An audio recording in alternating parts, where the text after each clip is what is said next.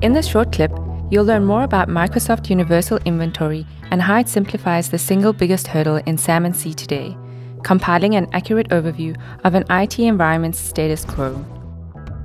The first step in any SAM and C value added engagement is knowing what the IT infrastructure consists of.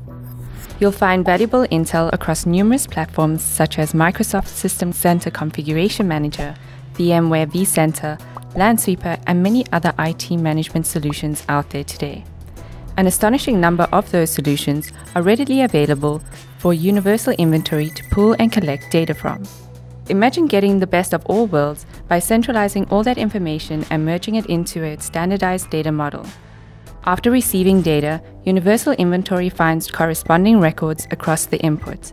Then it consolidates that information into one line per user or device. This one record shows everything that is known throughout the sources used as input.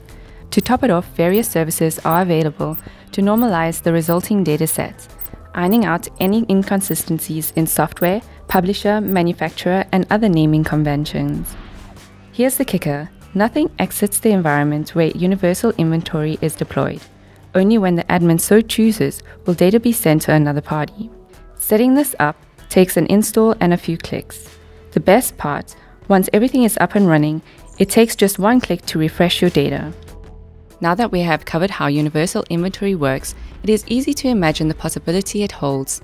For starters, it can generate a Microsoft Clean Inventory Data Contract or CIDC on demand. This is a file that can be uploaded to Microsoft to report compliance in the context of your licensing agreement. But take a moment to envision what added value a data source like UI can support. Hooking up your own solutions to such knowledge paves the way to make a real difference beyond SAM and C.